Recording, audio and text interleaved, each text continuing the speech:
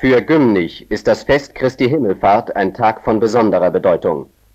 Wie hier an der Pfarrkirche des Dorfes kündigen Plakate überall im Land zwischen Köln und Aachen, Düsseldorf und Bonn die traditionelle Reiterprozession an.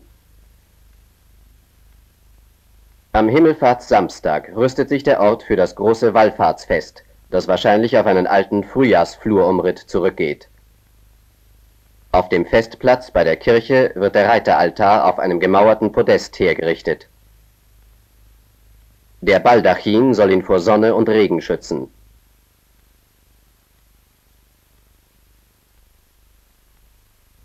Ein Umbau aus Glas hält den Wind ab.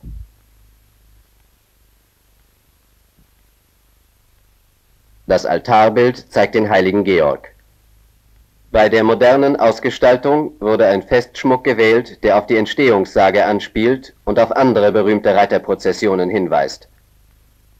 Zum Beispiel erinnert das Wappentuch zur Umkleidung der Brüstung mit seinen Emblemen an die Geschehnisse während des fünften Kreuzzuges, auf den der Ritt zurückgehen soll. Wie die Sage berichtet, geriet bei der Belagerung der ägyptischen Stadt Damiette ein Ritter aus dem Geschlecht der Schlossherren von Gymnich mit seinem Streitross in die Nilsümpfe. Er gelobte diese Reiterprozession und wurde mit Gottes Hilfe durch ein Schilfhuhn aus der Gefahr gerettet. Die Tafeln, die den Festplatz umsäumen, zeigen die Wappen der bekanntesten süddeutschen Städte, die auch ein altes Umrittbrauchtum bewahren. Auf dem Platz rechts neben dem Altar steht vom Maifest her noch der Maibaum. Einer der beiden Adjutanten, die den Reliquienträger beim Umritt begleiten, holt beim Ortspfarrer seine Montur ab.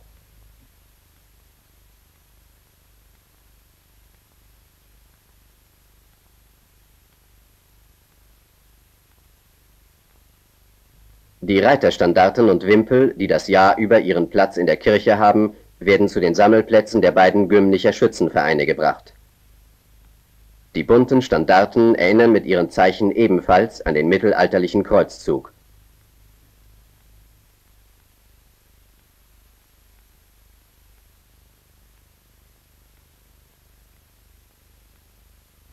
Schon am Vortage werden von der Dorfjugend auf den Straßen die Prozessionsfähnchen verkauft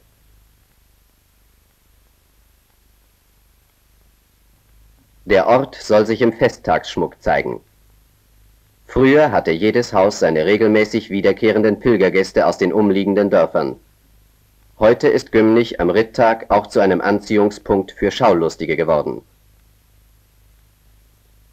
Wo so viele Menschen zusammenkommen, finden sich auch die Schausteller ein, die ihre Buden und Karussells an der Hauptstraße aufbauen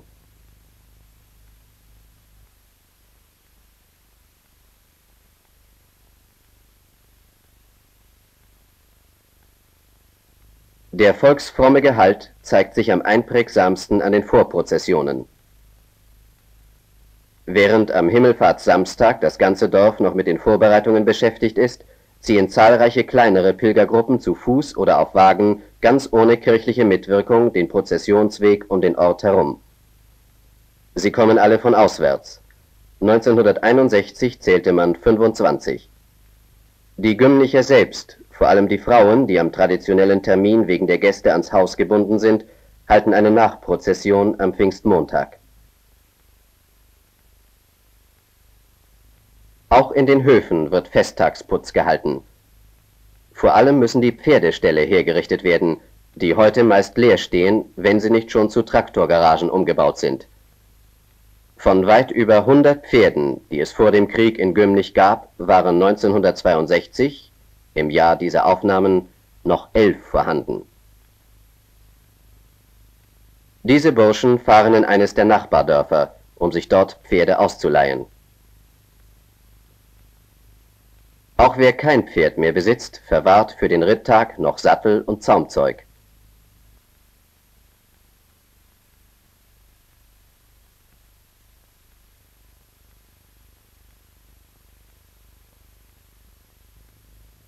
Hier ist gerade ein Pferdetransport aus der Eifel eingetroffen. An den Vorsonntagen waren zahlreiche Bauern und die Mitglieder der Schützenvereine unterwegs, um sich die benötigten Reittiere zu besorgen Vielfach hat sich ein festes Verhältnis zwischen den Gümnichern und den Eifler Pferdebauern eingespielt, die dann am Himmelfahrtstag herkommen, um ihre ausgeliehenen Pferde beim Ritt zu sehen.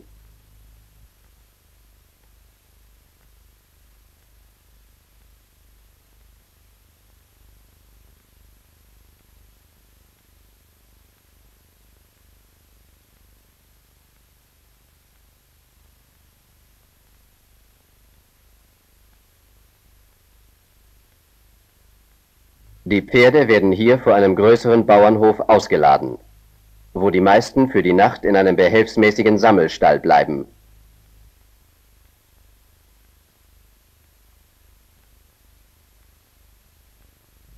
Wer selbst einen Platz freimachen kann, führt sein Tier heim. Am späten Nachmittag, wenn alle Vorbereitungen abgeschlossen sind, werden überall in den Höfen die Pferde geputzt. Dieser Bauer, ein Offizier der St. Sebastianus Schützengesellschaft, besitzt noch ein eigenes Pferd, das er hauptsächlich für den Ritttag hält. Es wird sorgfältig gestriegelt und gebürstet. Die Mähne wird glatt gekämmt.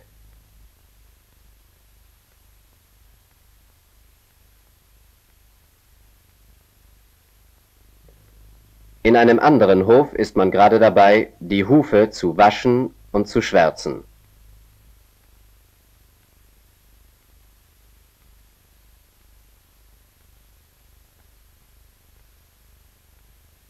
In den Sammelstellen finden sich die Reiter zum gemeinsamen Pferdeputzen ein.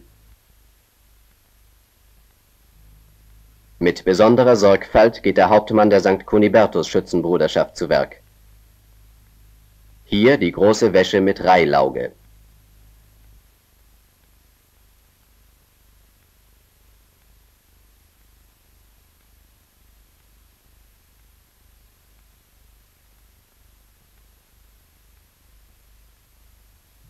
Das nasse Schweifhaar bleibt über Nacht zum Zopf geflochten, damit es am Festtag lockig fällt.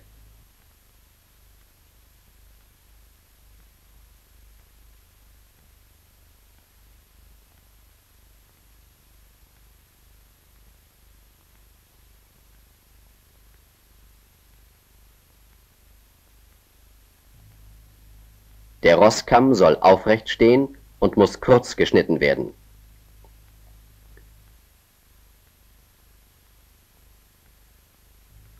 Auch Zaumzeug und Sattel werden in Ordnung gebracht. Alle Metallteile müssen blinken.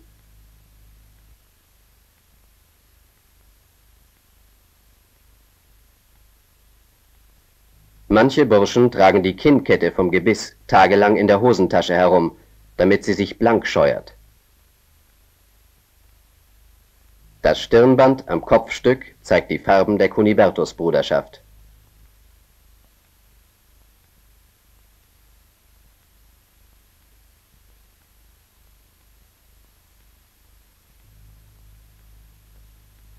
Auch die Schützenuniform wird in Ordnung gebracht.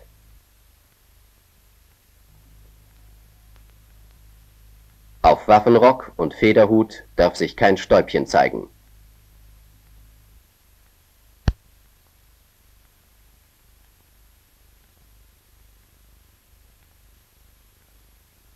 Der Degen muss blitzen, wenn er beim Präsentieren gezogen wird.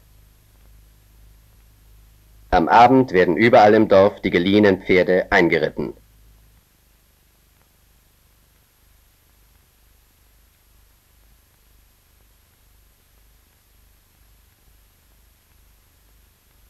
Beim Dorfschmied, der nur noch selten mit Pferden zu tun hat, wird ein verlorenes Hufeisen ersetzt.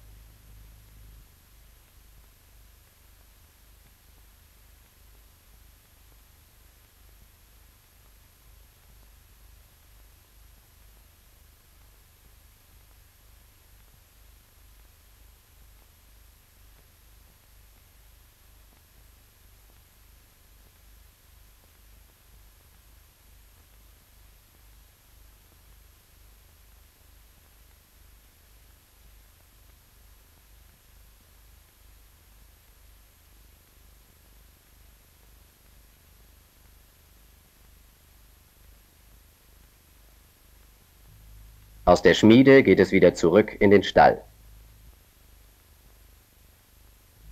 Über dem Portal des Gümnicher Schlosses bringt der Kastellan zum Zeichen des bevorstehenden Festes die Schlossstandarte an. Sie wird nach altem Brauch bei der Prozession mitgeführt. Das Schlosswappen in der Eingangshalle zeigt als Helmzier das Schilfhuhn, auf das sich die Sage von der wunderbaren Rettung des Kreuzfahrers bezieht. In der Schlosskapelle werden als Reliquie Kreuzpartikel aufbewahrt, die der Ritter von Gymnich aus dem Heiligen Lande heimgebracht haben soll auch diese Reliquie wird beim Umritt über die Fluren getragen.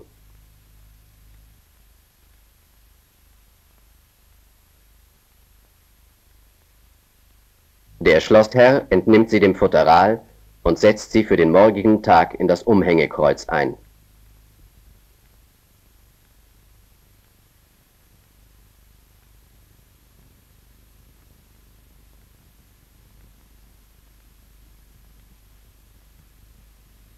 Das Geschehen am Himmelfahrtstag beginnt in aller Frühe mit dem Wecken in den Dorfstraßen durch das Gümnicher Tambourchor.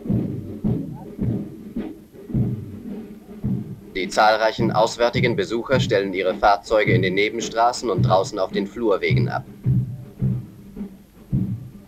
Die Reiterabteilung der St. Sebastianus Schützengesellschaft tritt an. Die Standarten für den Umritt werden aufgenommen. Die schweren bunten Feldzeichen, die der Prozession das Gepräge eines mittelalterlichen Kreuzzuges geben, werden in einen Lanzenschuh am rechten Steigbügel eingesteckt. Ein über die Schulter gehängter Lanzenriemen sichert sie gegen den Wind.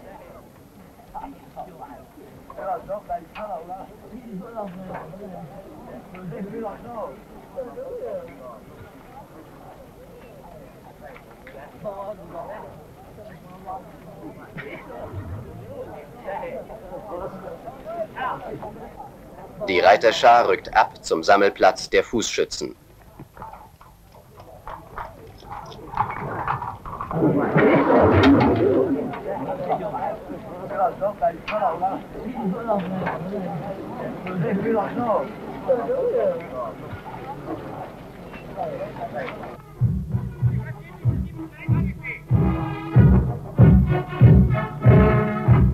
Gemeinsam geht es weiter zum Gümnicher Schloss, wo die Sebastianus-Schützen die Kreuzreliquie in Empfang nehmen werden.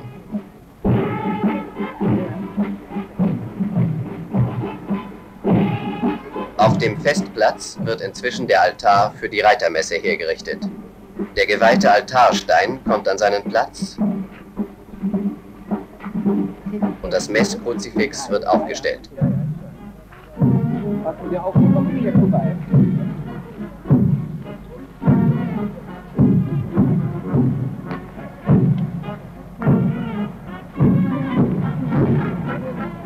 Zweite Schützenverein des Dorfes, die St. Kunibertus Schützenbruderschaft, tritt vor dem Hause ihres Hauptmannes an.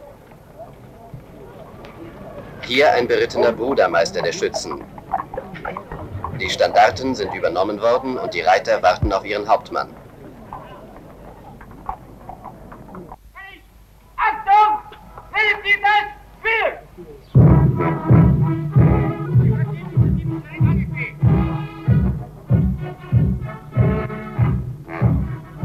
Zug bricht auf, um den Schützenkönig abzuholen.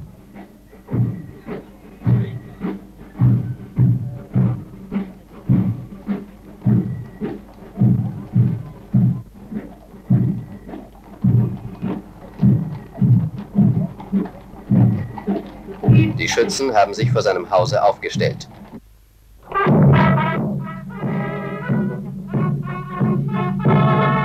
Der Königskette tritt der Schützenkönig heraus und schreitet die Front ab.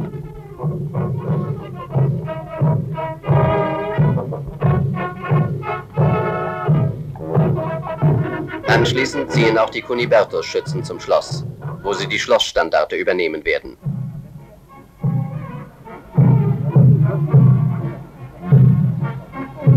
Ein Brudermeister der Fußpilger der Brudermeisterstab hat das Jahr über in einer Ecke seiner Schusterwerkstatt gestanden, macht sich für die Pilgermesse fertig. Die Messe für die Fußpilger wird in der Kirche gehalten. Sie beginnt eine ganze Stunde früher als die Reitermesse draußen auf dem Festplatz. Die Fußprozession, die für die Wegstrecke von etwa 12 Kilometern mehr Zeit braucht als die Reiter, bricht entsprechend früher auf, um mit diesen gemeinsam wieder in den Ort einziehen zu können. Die beiden Schützenvereine sind während der Fußpilgermesse auf dem Wege zum Schloss. Die Schlossherrschaft erwartet sie an der Einfahrt. An der Brückenbrüstung steht schon die Standarte bereit. Daneben liegt auf einer kostbaren Schabracke das Reliquienkreuz. Als erste kommen die Kunibertus-Schützen an.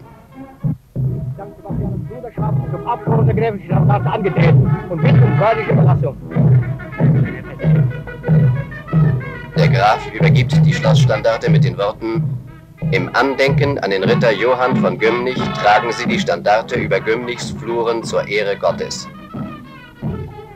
Während die blau-weißen Kunibertus-Schützen zum Festplatz abrücken, treffen die grün-weißen Sebastianus-Schützen ein. Ja, abholen des Kreuzfahrtes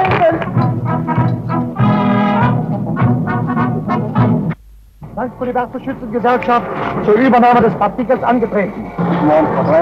Sie tragen die heilige Kreuzpartikel über Gimnis Fluren, um Gottes Segen über diese zu erflehen.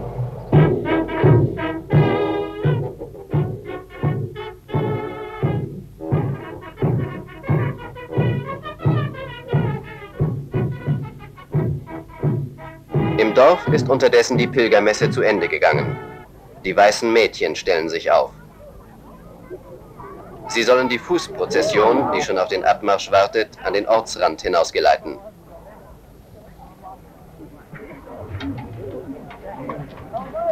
Auch eine Abordnung der Fußschützen gibt das Ehrengeleit bis zum Dorfausgang.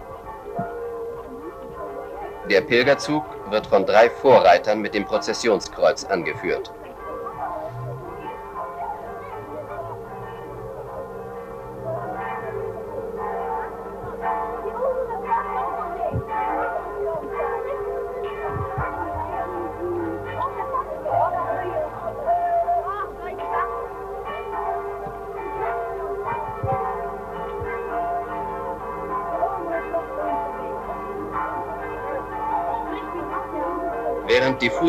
Fußprozession sich in die Flur hinaus begibt, finden sich die berittenen Prozessionsteilnehmer auf dem Festplatz zur Reitermesse ein. Manche von den bäuerlichen Reitern aus den Nachbardörfern haben einen Anritt von mehreren Stunden. Von den zahlreichen maiengeschmückten Gespannen, die in früheren Jahren von auswärts kamen, ist ein einziges übrig geblieben. 1956 waren es noch 30 Pilgerwagen. Am Reiteraltar übergibt die Abordnung der Sebastianus-Schützen das Reliquienkreuz vom Schloss an den geistlichen Herrn, der es segnend über die Felder tragen soll. Die Priesterschaft zieht zur Feier der Messe an den Altar.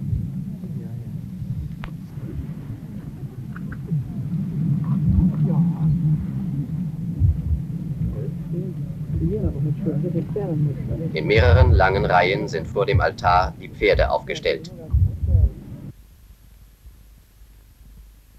Die Reiter bleiben während der Messe im Sattel. Nach dem Gottesdienst begeben sich Ministranten und Priester zum Aufsitzen auf den nahegelegenen Schulhof, wo die Pferde für sie bereitstehen.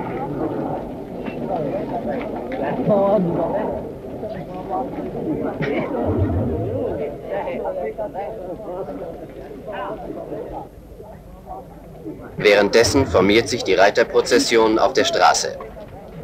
Der Hauptbrudermeister an der Spitze gibt das Zeichen für den Beginn des Prozessionsgebetes und für den Anritt und gewinne dein ist die Frucht deines Leibes, Jesus, der die Hoffnung und stärken wolle. Heilige ja, Gottes, bitte für uns Sünder, jetzt in der Stunde unseres Todes. Amen. Die ist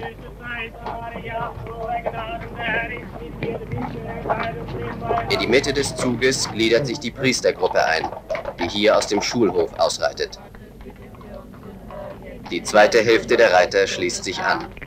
Das Spalier der weißen Mädchen wartet schon am Dorfausgang, um die Reiterprozession zu entlassen. Bis hierher wird der Zug von einer Blaskapelle begleitet. Er wird angeführt von den Kunibertus-Schützen mit der Schlossstandarte. Im Zentrum des Zuges reitet die Geistlichkeit, dabei der Priester, der die Reliquie segnend vor seiner Brust trägt. Die Sebastianus-Schützen und die auswärtigen bäuerlichen Reiter schließen sich an. Den Schluss bildet der Reiterverein mit seinen Gästen und der Pilgerwagen.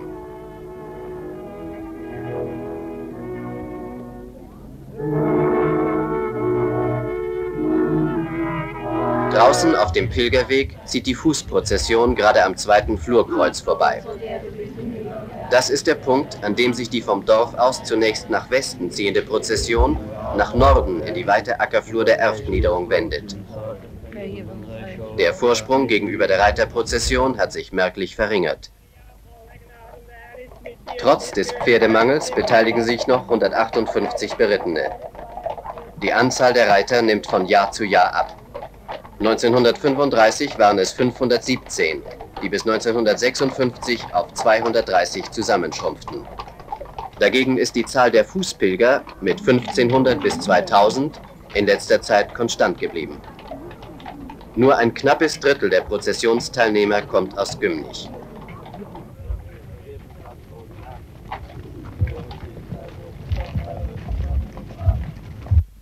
Mit den Fußpilgern, die hier auf einem der Gewannwege einherziehen, die genau an der Gemarkungsgrenze des Dorfes entlang führen, und den nachfolgenden Reitern, bildet die Prozession einen unübersehbaren Zug, der die Ackerflur Gümnichs umrundet.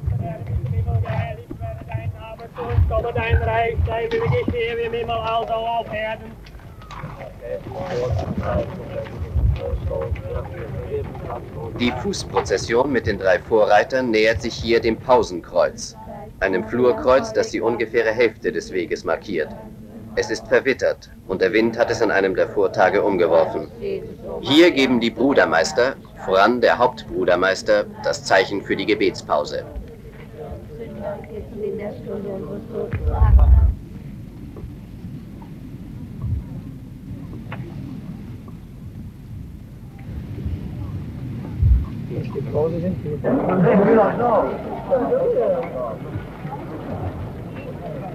In den Jahren, in denen die Frucht zur Himmelfahrt noch nicht hoch genug steht, werden hier am Vortage Haufen von Strohballen aufgestellt. Die Reiter, die kurz vorher zu den Fußpilgern aufgeschlossen haben, halten die Pause mit ihnen gemeinsam. Pilger und Reiter stärken sich für den Rest des Weges. Während der Pause geht der Zug durch die Flur weiter. Nur das Gebet schweigt. Die Pferde spüren die gelockerten Zügel. Wo der Weg sich ostwärts wieder dem Dorfe zuwendet, ist die Pause zu Ende. Im Wegeknie gibt der erste Brudermeister das Zeichen für den erneuten Beginn des Gebetes. Es wird von den übrigen Brudermeistern aufgenommen, die auf den ganzen Zug verteilt sind.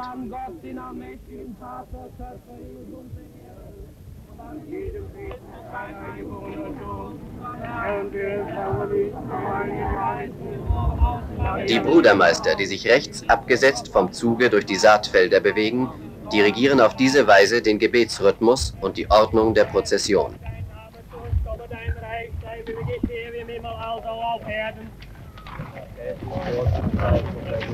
Mittag ist bereits vorüber, wenn sich die Spitze der Pilgerschar wieder dem Dorfe nähert.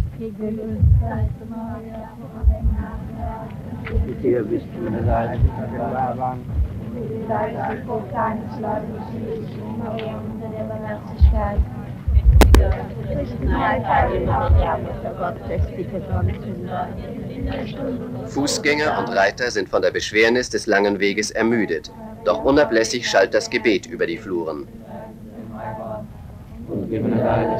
Deines Leibes, Jesus, O Maria, Mutter der Barmherzigkeit.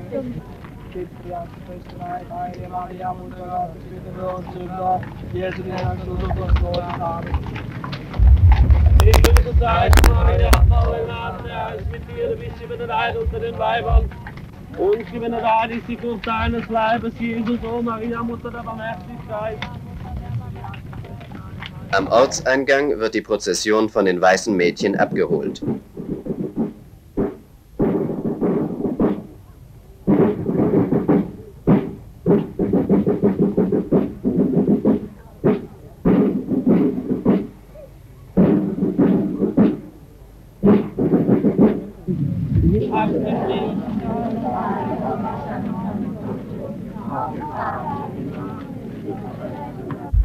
Er sah dem Vater und dem Sohn und dem Heiligen Geist.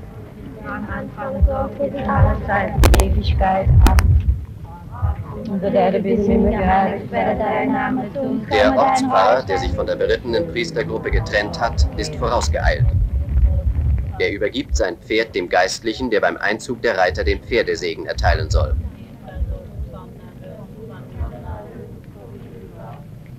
Gegrüßet seist du, Maria, voll der Gnade, der Herr ist mit dir, du bist in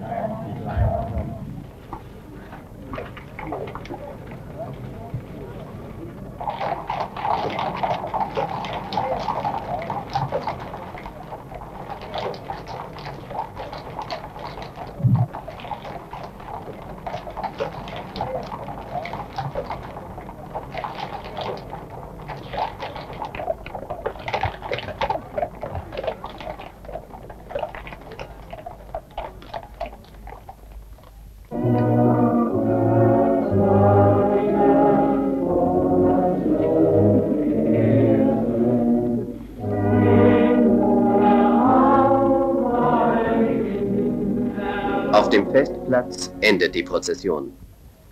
Fußpilger und Reiter ziehen hier gemeinsam vor dem Feldaltar auf, um den sakramentalen Segen zu empfangen.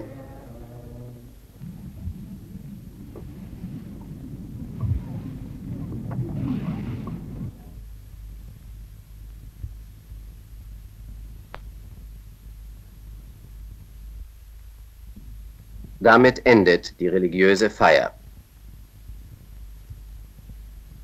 Jetzt beginnt im Ort das Dorffest. Durch das dichte Menschengewühl auf den Straßen streben die letzten Reiter mit ihren Pferden den Ställen zu.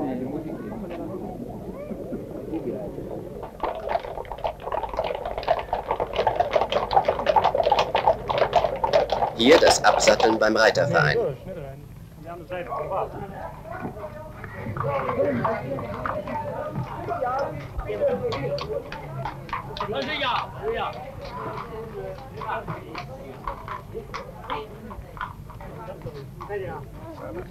Nach dem Tränken werden die geliehenen Pferde verladen.